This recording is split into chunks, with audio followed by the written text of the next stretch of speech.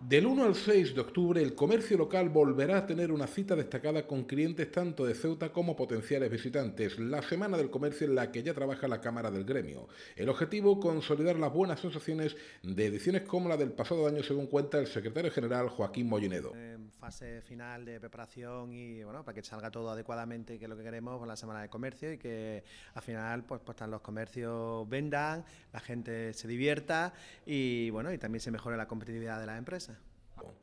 Habrá varios descuentos, desfiles y atracciones para llegar a la Noche en Blanco el 5 de octubre, en las horas previas a la jornada del stock fuera, el sábado 6 en la barriada de Jadú. Eh, repite lo que es el formato del año anterior porque pensábamos que salió bastante bien y la gente estaba bastante contenta, en el sentido de que va a tener, pues igual que tres talleres de formación para los lunes, martes y miércoles para los empresarios en diversos aspectos. El martes, miércoles y jueves va a haber pasarelas de moda en la calle, como el año pasado, una pasarela casual, otra pasarela de niños y otra de moda de fiesta.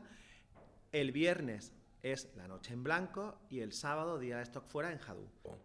Habrá varios descuentos, desfiles y atracciones para llegar a la noche en blanco el 5 de octubre, en las horas previas a la jornada del stock fuera, el sábado 6 en la barriada de Jadú. Bueno, empezó muy mal, el verano no ha acabado mal, parece ser del todo, para la perspectiva que estaba, y a ver cómo repunta. Va a depender mucho de, de este último trimestre.